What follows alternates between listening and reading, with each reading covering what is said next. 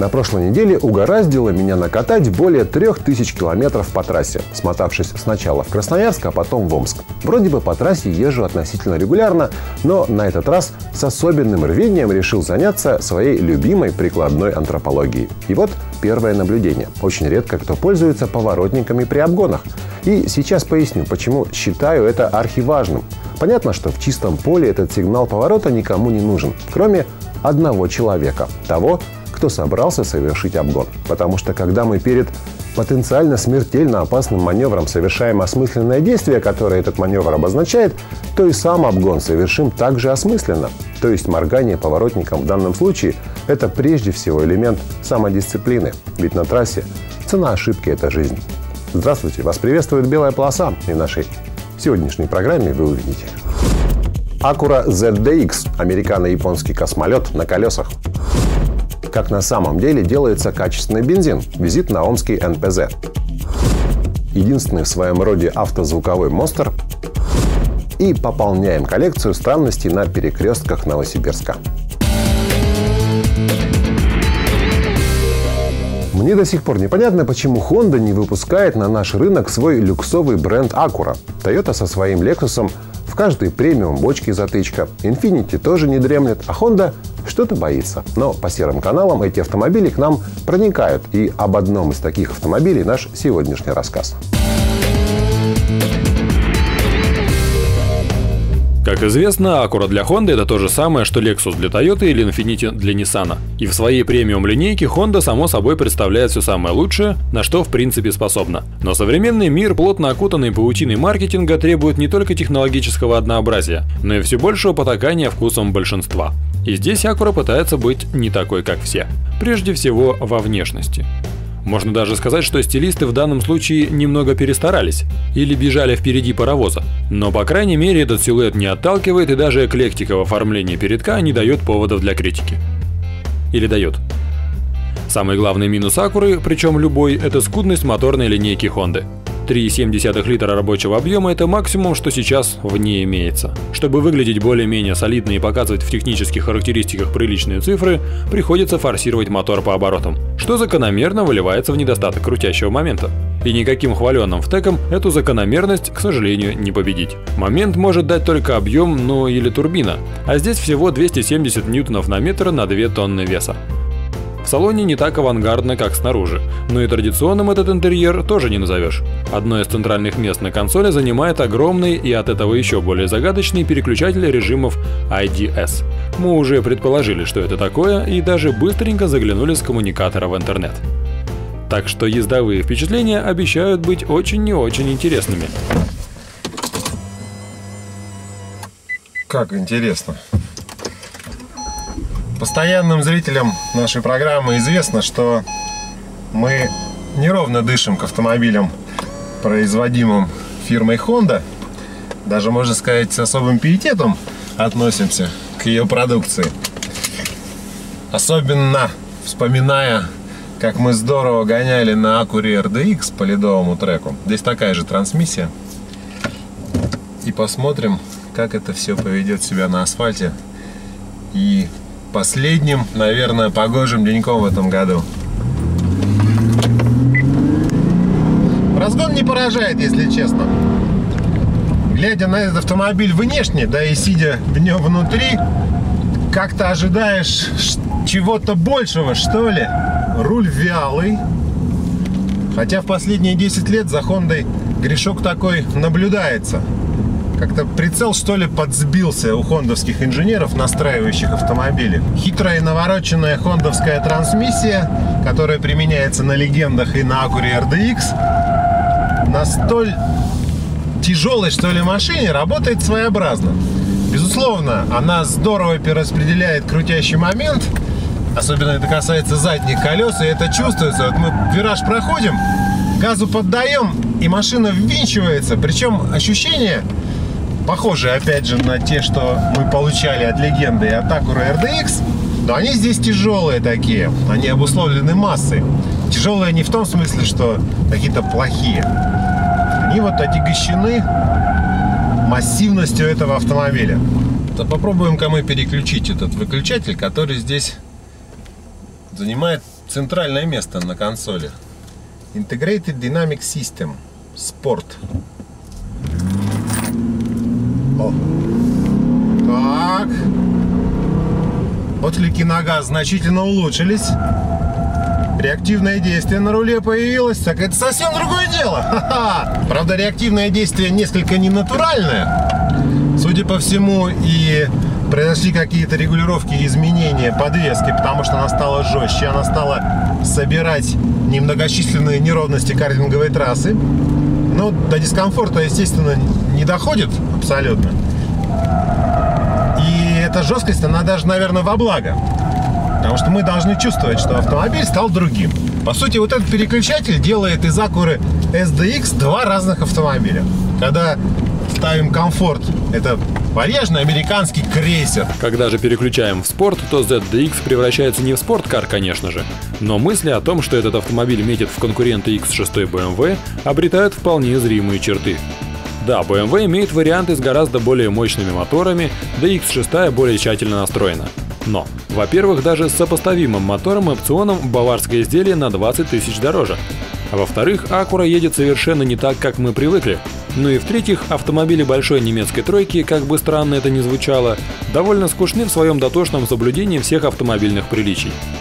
Такие же, как Acura, позволяют себе вольности. И иногда это у них получается очень интересно. Конечно, мы субъективны. Мы субъективны, потому что я всю свою, почти всю свою праворульную жизнь отъездил на Хондах и очень люблю эти машины. Я люблю Акурум. Хотя нужно признать, что современные Акуры и современные Хонды, они увеличили дистанцию между водителем и автомобилем. Раньше можно было гораздо плотнее с автомобилем слиться. Но это не пошло во вред, это не пошло в пользу. Это просто, это просто другое ощущение. Автомобиль как бы сам по себе и он исправляет, что ли, ошибки водителя, но он не обеспечивает абсолютной слитности. Хотя эти ощущения, они интересные, они необычные, потому что никакие другие автомобили не дают таких ощущений. И в этом, наверное, их прелесть. Понемногу подходит к концу наш цикл про тернистый путь бензина, ну или дизельного топлива от завода до баков наших автомобилей. В заключительном сюжете цикла мы расскажем о первом и самом главном звене этой цепочки, о том, как производится топливо. И для этого мы съездили на Омский нефтеперерабатывающий завод.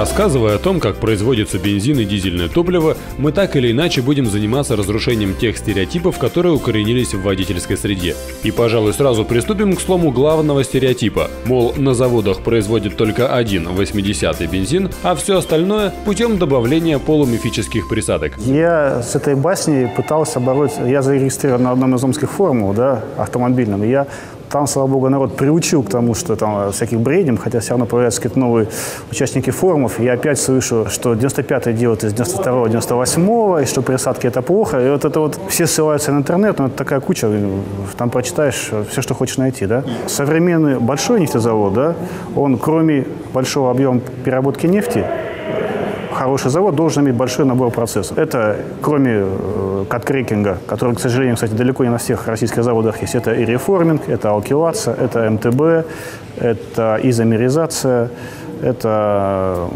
ну, у кого что еще есть, да, алкилирование, я, по-моему, говорил.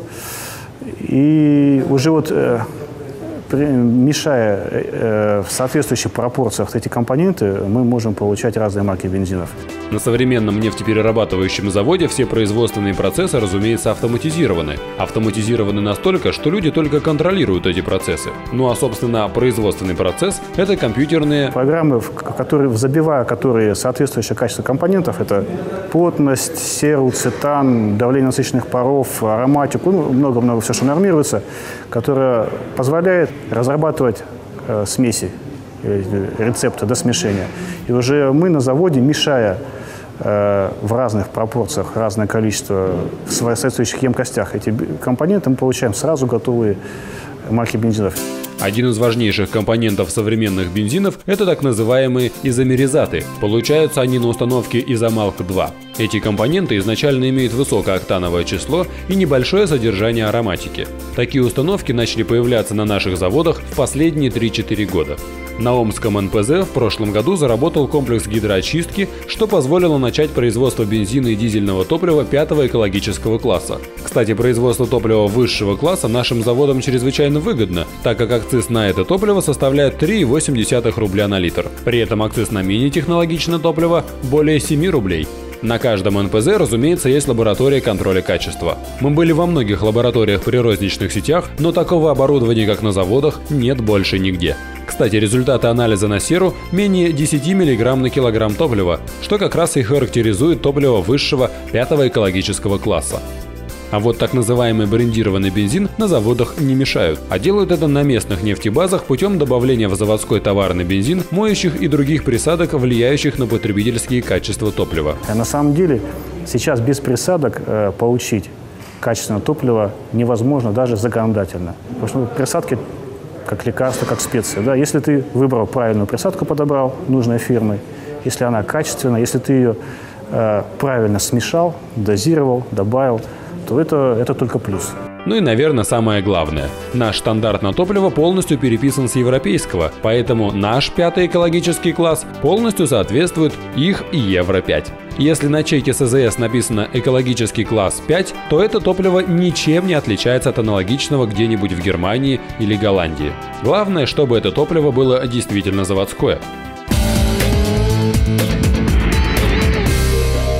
В зачастую тщетных попытках найти в Новосибирске что-то по-настоящему уникальное бывают и неожиданные прорывы. Один из таковых – созданный в наших суровых краях демокар, или, как его еще называют, шоу-стоппер для демонстрации достижений современной автозвуковой промышленности. Впрочем, не совсем для этого. Почему? В нашем следующем сюжете.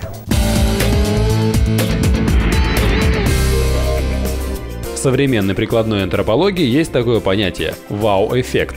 Сразу признаем, что этот аппарат этот самый вау-эффект производит.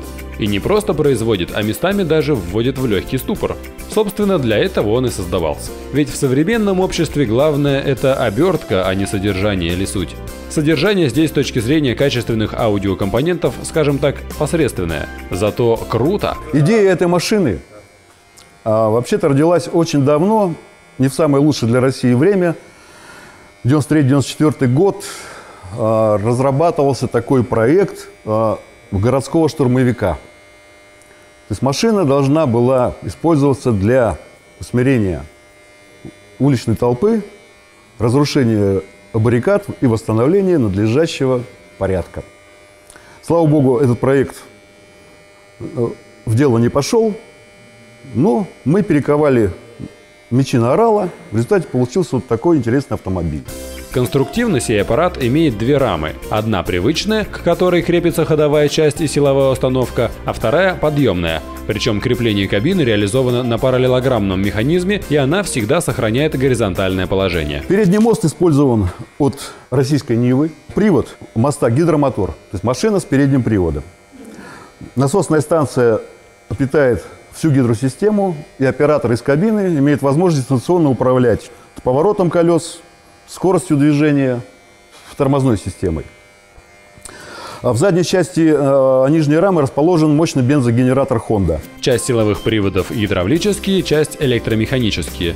И прямо скажем, что приведение всего аппарата из походного положения в боевое хоть и занимает немало времени, но цепляет. Есть и технические изыски. Например, крылья здесь имеют настоящий аэродинамический профиль. И если разогнать этого монстра до 350-400 км в час, то он даже взлетит. Но ненадолго, так как крепеж крыльев к, скажем так, фюзеляжу не рассчитан на такие нагрузки. Но большинство элементов все-таки бутафорские. Например, вот эта арматура, манометры и так далее.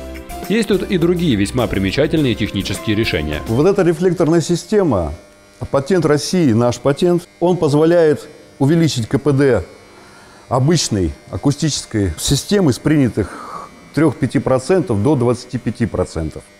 То есть при той же мощности мы имеем в 5 раз более громкий звук. Это происходит за счет преобразования сферической волны, излучаемой в динамиком, в плоскую волну, у которой совершенно другие условия распространения в воздухе. Напомним, что сей аппарат может перемещаться самостоятельно, но не быстро, максимум 8 км в час. Да и по дорогам общего пользования ему ездить нельзя. Про регистрацию в ГИБДД ну, мы ради интереса забросили, нам сказали, ребята, обращайтесь в Росавиакосмос. Отдавая дань заслугам создателей этого монстра и отдавая себе отчет в том, что для его создания были в полной мере использованы и русская инженерная мысль и смекалка, позволим себе побрюзжать. Ведь и ресурсы заказчика, и ресурсы, безусловно, талантливых русских мужиков, построивших эту машину, потрачены по сути на достижение лишь внешнего, того самого вау-эффекта. И вот от этого становится немного грустно. «Белая полоса» продолжает обзор проблемных и прочих странных с точки зрения организации движения мест в стольном граде Новосибирск. И нужно признать, что по результатам многих наших сюжетов знаково-разметочное хозяйство приводилось в соответствии с ГОСТом 52289 и в соответствии со здравым смыслом. Но, похоже, данная тематика не канет в лету никогда. Обычный перекресток в городе, коих, наверное, тысячи, может быть сотни, конечно же. Вы с э, узкой двухполосной дороги на широкополосную, многополосную дорогу. И как вы думаете, в каком направлении разрешает движение автомобилям, которые едут отсюда? В каком направлении данное, так сказать, знаковое разметочное хозяйство разрешает движение?